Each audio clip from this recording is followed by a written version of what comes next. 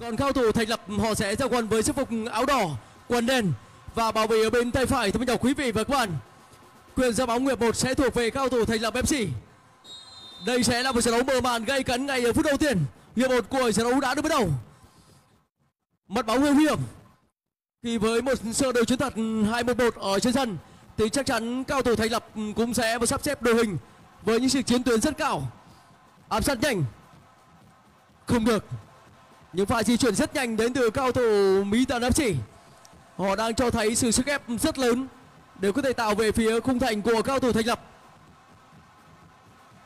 Khi mà có những sự chiến tuyến cao thì chắc chắn họ sẽ tạo ra rất nhiều những sóng gió.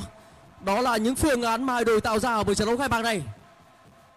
Và bây giờ chúng ta cũng đến với diễn biến của trận đấu ngày hôm nay. Cuộc đầu giữa Mỹ Tần và Thành Lập. Thì cả hai đội vẫn đang diễn ra rất bùng lửa và cởi mở. Sự thăm dò đối với họ là quá đủ để họ có thể lựa chọn sáng suốt ở những pha phản công. Không được. Vẫn sẽ là một quả đá biên dành cho Mỹ Tần FC.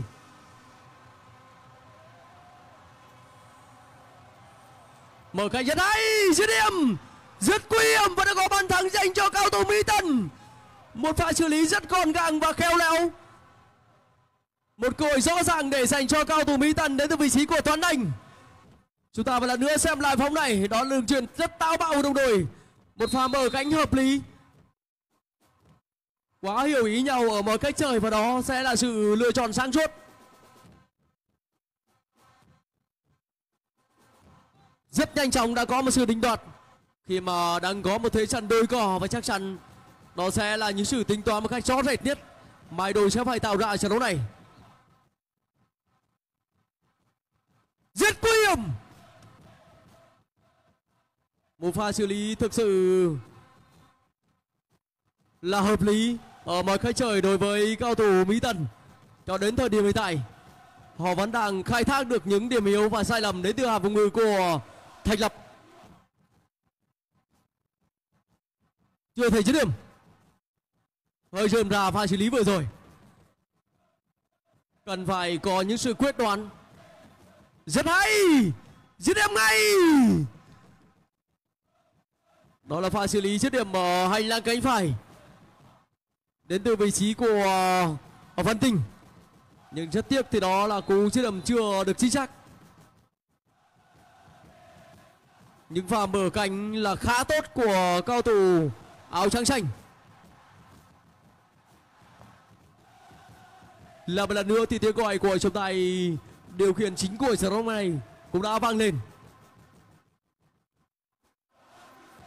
Sẽ có một quần áo phạt dành cho cao thủ mỹ tần quần áo phạt ở vị trí giữa sân. Và đây cũng thể sẽ là một cú dứt điểm thẳng. Không được. Đó là cú dứt điểm. Điều quan trọng nhất của trận đấu này, đó sẽ là những sự công hiến hết mức để dành cho các cổ động viên của mình. Phản công dành cho cao thủ mỹ tân rất đây một cơ hội thực sự là tuyệt vời. Đó là pha dâng cạo rõ ràng đến từ Thu thành, đến từ cao thủ mỹ tân và bàn thờ thứ hai cũng đã đến với họ ở trận đấu này. Một cơ hội thực sự tuyệt vời và một đường chọc khe như đặt để dành cho đồng đội ghi bàn. Một cú thả lỏng phải nói là ăn điểm 10 đến từ cao thủ Mỹ Tần. Pha ghi bàn hơi mạo hiểm ở những pha xử lý như vậy. Nếu như để cho đối phương cướp được bóng thì đó sẽ là một cơ hội thực sự phản công mẫu mực và sẽ tạo nhiều nguy hiểm hơn về phía khung thành của mình. Rất hay, dứt điểm không vào. ăn Văn đã có bàn thắng rút ngắn dành cho cao thủ Thạch là pepsi ở những thời điểm rất quan trọng. Một cơ hội thực sự là tuyệt vời.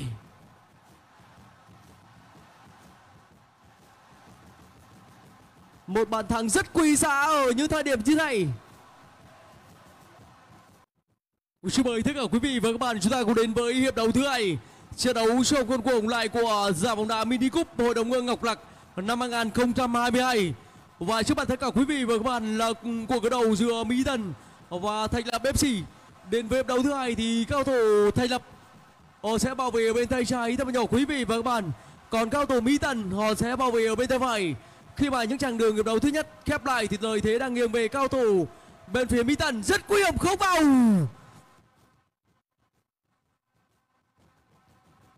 Những sự nan giải và họ sẽ phải tính toán ở trận đấu này. Coi khá nguy hiểm và bàn thắng thứ ba để đến với cao thủ mỹ tân. Đã có một sự loạn choạng đến từ hàng phòng ngự của thạch lập. Và ngay lập tức thì họ đã phải trả giá và đón nhận thêm bàn thua tiếp theo.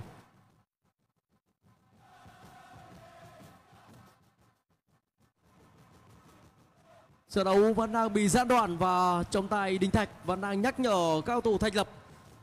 Dứt điểm ngay, rất nguy hiểm. Và đã có bàn thắng tiếp theo để dành cho cao thủ bí tân. Đó là pha ghi bàn đến từ vị trí của khánh vinh, của hat của khánh vinh ở một trận đấu này.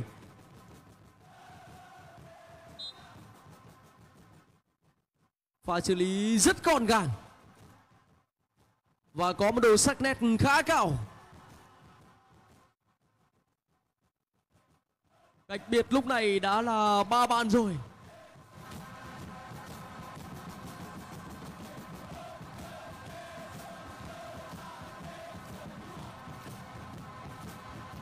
Ông vẫn còn. Mất bóng rồi Phản công dành cho cao thủ Thạch là FC Tiến hai. Bóng đá không thể đến được cột hai. Một lối chơi rất lăn xả của thủ thành Bí Tân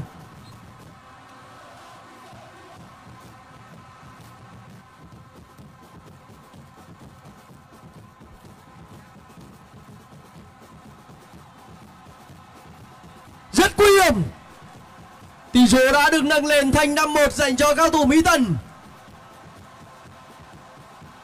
một pha di chuyển thực sự là khôn ngoan và sự bứt phá leo biển ở hành lang cây trái đến từ cầu thủ mà số 9 đó là vị trí của Văn Tuấn.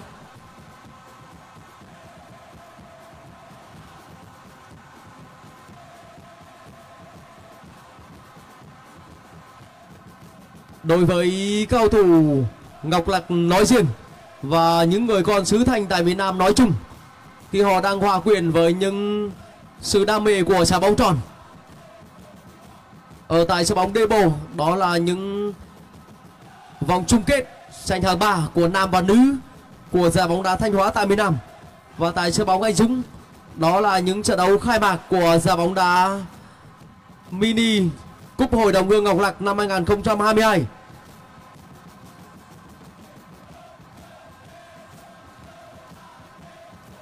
Và lễ côi dành cho cao thủ Thành Lập.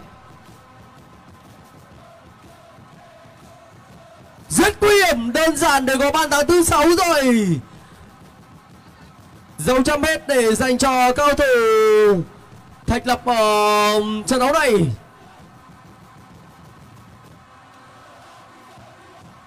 Pha xử lý thực sự là rất khôn ngoan.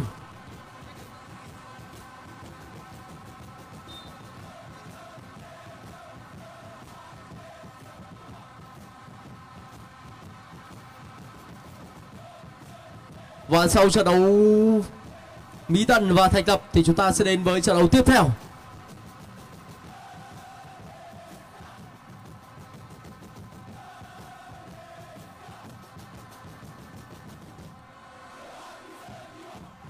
Vâng, mất bóng rất nhiều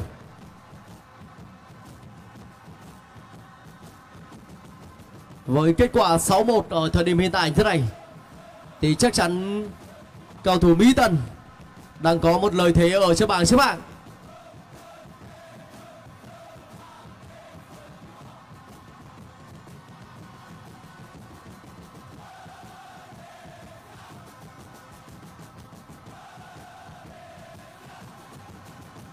không được.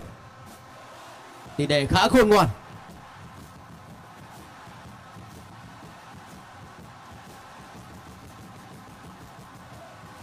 Hơi mạo hiểm.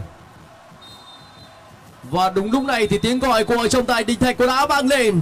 Những diễn biến của trận đấu khai mạc của đầu giữa FC Mỹ Tần và FC Thành Lập cũng đã kép lại. Với chiến thắng thuộc về cao thủ Mỹ Tần với tỷ số là 6-1 một trận đấu thực sự là bùng lửa sự hấp dẫn và diễn biến được đẩy lên khá cao. Nhưng đó là một kết quả thuộc về cao thủ Mỹ Tần xin được chúc mừng cho ban luyện của thầy trò Mỹ Tần đã giành chiến thắng trận đấu khai mạc này. Và thực sự không được may mắn đối với cao thủ Thành Lập, và chúng ta cùng đến với diễn biến của trận đấu hiệp hai. Trận đấu thứ hai của trong khuôn khổ vòng loại này.